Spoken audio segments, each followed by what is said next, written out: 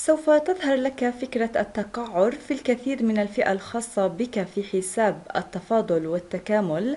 حسنا ما تريد القيام به في هذا الفيديو هو معرفة هو معرفة ما هو التقعر. هو ما كان مقعرا للأعلى أو مقعرا للأسفل. عليك معرفة ماذا تعني؟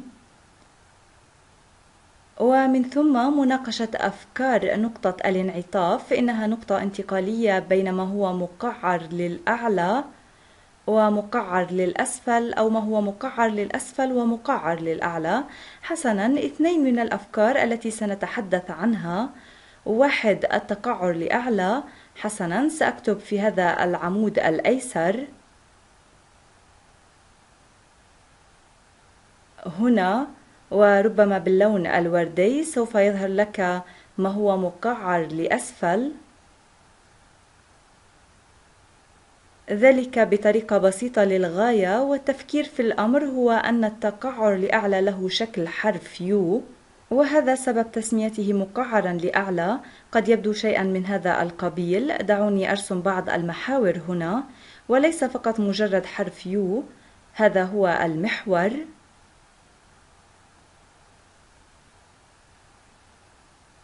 منحنى التقعر لأعلى يظهر شيئا كهذا ونحن نرسم ذلك باللون الأخضر. يمكن أن يبدو شيئا من هذا القبيل. حسنا هذا الرسم البياني سيستمر كلما اتجهت x نحو الموجب والسالب. مجال هذا الاقتران هو آه هذا هو f الx إنه مقعر لأعلى ويمكنك أن ترى أن له شكل حرف u وسوف نناقش في المرة الثانية ما هو الميل أو ماذا يفعل. لكن من السهل جدا أن ندركه بصريا وبالمثل اسمحوا لي أن أرسم محور أريد أن أظهر لك كيف يبدو ما هو مقعر للأسفل. اسمحوا لي أن أوجه بعض المحاور هناك. أحاول إيجاد الاقتران F الإكس. يمكن أن يكون في أي مكان. كما تعلمون النقطة السفلى يجب أن تكون في الربع الأول مثل هذا. لها نفس الشكل العام شكل حرف يو كما في التقعر لأعلى. يمكنك تخمين كيف يبدو التقعر لأسفل. إذا كان هذا مقعر لأعلى فإن التقعر لأسفل سيكون بالاتجاه المعاكس. قد يبدو شيئا من هذا القبيل. قد تبدو شيئا مثل هذا وربما يكون ذلك اقتران آخر جيل X لاحظ أنه يبدو شكل حرف يو مقلوب. إذا مجال هذا الاقتران هو مقعر لأسفل. حسنا يمكن النظر ومعرفة ذلك على الفور. إذا كان حرف U هذا لأعلى فإن هذا حرف U مقلوبا رأسا على عقب ولكن هذا يعني الميل فعليا. لنفهم ذلك دعونا نفكر فيما يحدث.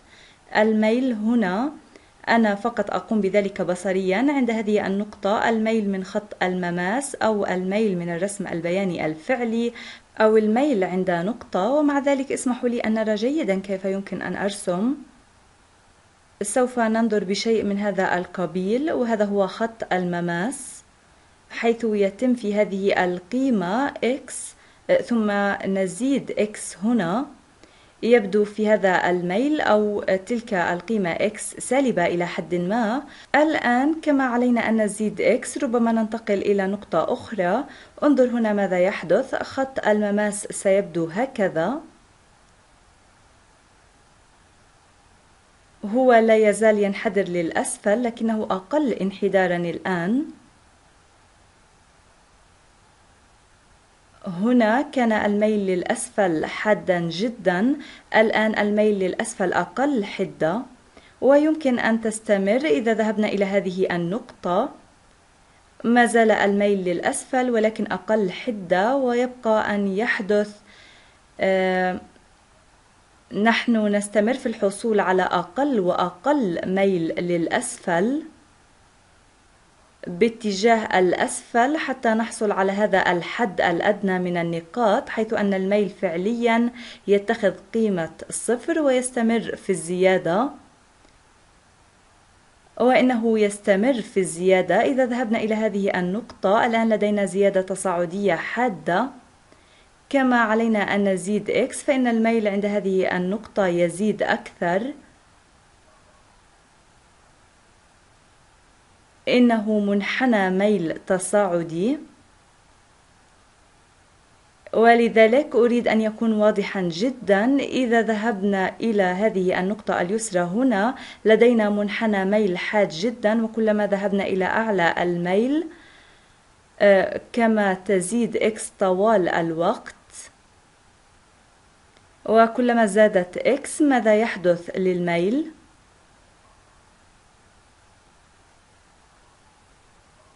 لقد زاد الميل. إذا كلما زادت x زاد الميل. كلما زادت x زاد الميل. وهذا هو تعريف التقعر لأعلى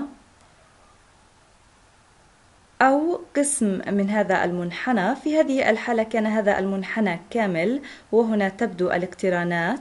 يصل في بعض الشيء هنا كانت سالبة للغاية وأصبحت أقل سالبية. أن تصبح أقل سالبية هذا يعني نفس مفهوم الزيادة حتى أنها أقل سالبية من هنا وهنا أصبحت مستوية تماما. الصفر هو ميل أعلى قيمة في بعض الميول السالبة هنا وبعد ذلك أصبحت موجبة وموجبة أكثر. حتى أنه أكثر إيجابية والميل أكثر تزايدا. الآن دعونا ننتقل إلى سيناريو التقعر لأسفل. دعونا نبدأ مع x هنا ربما هي منخفضة نسبيا. هنا لدينا ميل عالي جدا في هذه النقطة لدينا ميل تصاعدي عالي جدا. كما تزيد x فإننا نذهب إلى قيمة أقل سالبية. ما زال لدينا ميل تصاعدي وهنا أقل تصاعدية. إذا الميل هنا يقل وهنا لا يزال منحنى الميل تصاعديا. تتجه من أسفل اليسار إلى أعلى اليمين ولكن انظر إنه مستوي. أصبح أقل إيجابية حتى نصل إلى هذه النقطة. أنا لم أكن أرسم المنحنى الأصلي جيدا حيث يمكننا الحصول على آه، لربما نقطة كحد أقصى لأن الميل يتجه للصفر. وكلما اتجهنا للأسفل يصبح الميل سالبا ويصبح أكثر سالبية وحتى أنه يصبح أكثر سالبية ويمكننا أن ننتقل على هذا المنحنى وكلما زادت x فإن الميل يقل.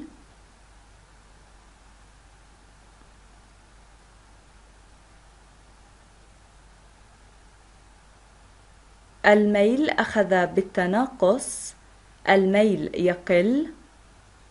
أريد جعل ذلك واضحا الميل كان موجبا جدا. هذا لا يعني أن الميل سلبي هنا خلال هذه الفترة. الميل يواصل في الانخفاض. وينتقل من أكثر إيجابية إلى أقل إيجابية إلى أقل إيجابية ثم إلى الصفر ثم إلى سالب إلى حد ما ثم إلى أكثر سالبية ثم إلى سالبية أكثر حيث أنه يقل طوال الوقت. في التقعر لأعلى الميل يزداد طوال الوقت. لذا اسمحوا لي أن أرسم مثال قد يكون مزيج من الاثنين. ربما سوف أترك هذا حولها فقط حتى نستطيع النظر إليها كمرجع. اسمحوا لي أن أرسم محور هنا. الخط ليس مستقيم ولكن سوف يتناسب مع أهدافنا. اسمحوا لي أن أرسم بعض المنحنى هنا. ولذلك ربما يكون لدي شيء يشبه ذلك. ربما يبدو المنحنى شيء كهذا. الآن ما هي الفترة لمجال هذا الاقتران؟ سنسميه H X هل هذا المنحنى مقعر لأعلى أم مقعر لأسفل؟ حسنا يمكنك أن تنظر للأمر فقط من التعريف الأصلي قلنا أن التقعر لأعلى يأخذ شكل حرف U والمقعر لأسفل يأخذ شكل حرف U مقلوبا رأسا على عقب حسنا هذا يبدو كحرف يو تقريبا. هذه النقطة لأعلى أليس كذلك؟ لدينا شكل حرف يو هذا ولدينا شكل حرف يو هذا في المنحنى يبقى يدور حسنا. من هذه النقطة لدينا تقعر إلى هذه النقطة.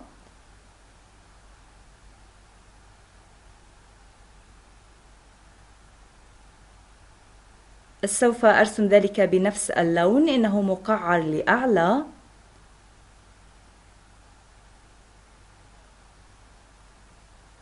ومن هذه الفاصلة إلى هذه لدينا تقعر لأسفل.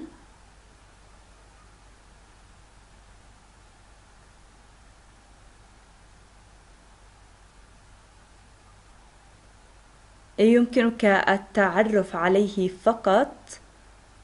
في الواقع دعونا نستكشف ماذا يحدث للميل. حسنا من هنا خط التماس عالي جدا. سأمثله بلون مختلف هذا خط التماس. له ميل بقيمة موجبة عالية جدا ثم إنها أقل إيجابية. ثم عند هذه النقطة القصوى فإنه يتجه إلى الصفر ثم يصبح سالب إلى حد ما ومن ثم أكثر سالبية. حتى أكثر سالبية. حتى هذه النقطة فإن الميل آخذ بالتناقص وهذا يتوافق تماما مع ما قلناه بشأن التقعر لأسفل. ولكن شيء مهم يحدث عند هذه النقطة هنا. سوف أكون دقيقا هنا. هنا يمكن أن ترى الميل لخط المماس يبدو مثل هذا أليس كذلك؟ وإنه أكثر سالبية من هنا وأكثر سالبية من هناك ولكن هنا يحدث شيء مثير للاهتمام. فجأة يبدأ الميل بالزيادة مرة أخرى. أنا أريد استدراجه. اسمحوا لي أن أستدرجه بدقة. هنا الميل يبدو شيئا كهذا.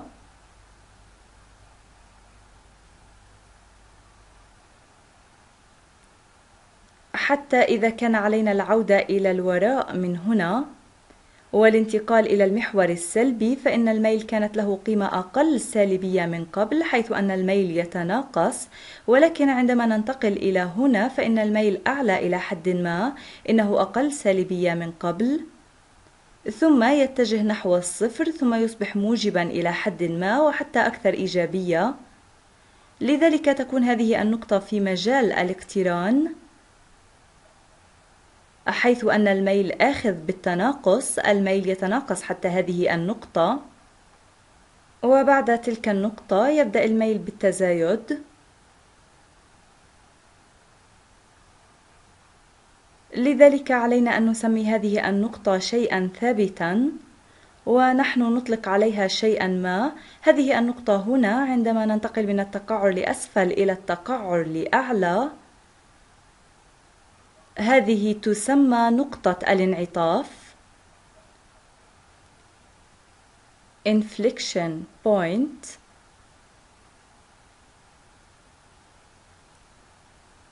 وهذا أيضا بسبب نقطة الانعطاف. كان بطريقة أخرى. اسمحوا لي رسم منحنى الذي يبدو وكأنه هذا التقعر لأعلى. وهذا التقعر لأسفل. نقطة التحول التي تنقلك من تقعر إلى آخر.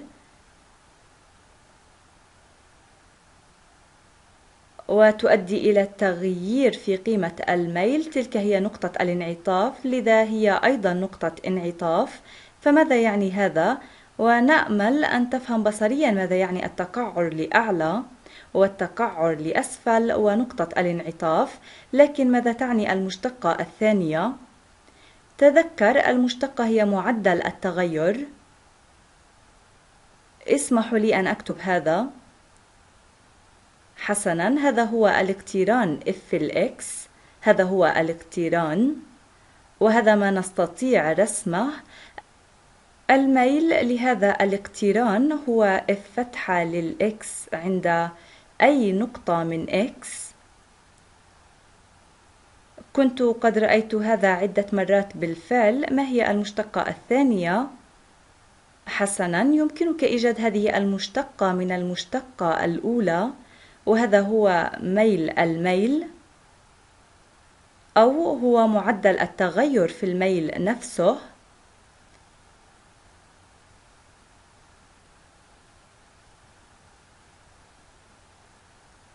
ماذا نقول عن التقعر لأعلى؟ التقعر لأعلى يكون عندما يكون الميل في تزايد. هذا يعني أن معدل التغير في الميل موجباً. حسنا ما يعنيه ذلك هو أن المشتقة الثانية هي ميل الميل. عندما f فتحتين للإكس أكبر من صفر هذا ما يخبرنا به منحنى التقعر لأعلى لأنه إذا كان هذا أكبر من صفر هذا يعني أن معدل التغير في الميل موجبا. وهذا ما قلناه عن التقعر لأعلى. الآن في التقعر لأسفل الميل يتناقص. لذا معدل التغير في الميل يتناقص أو يكون سالبا. في هذه الحالة فإن المشتقة الثانية تكون أقل من صفر.